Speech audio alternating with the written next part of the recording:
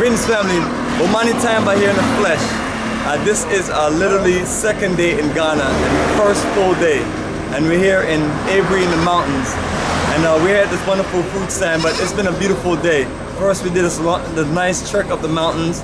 I ordered our food at Hillburi for our lunch. Then went up to our Trinity Home Academy orphanage and connections that we have as far as our children.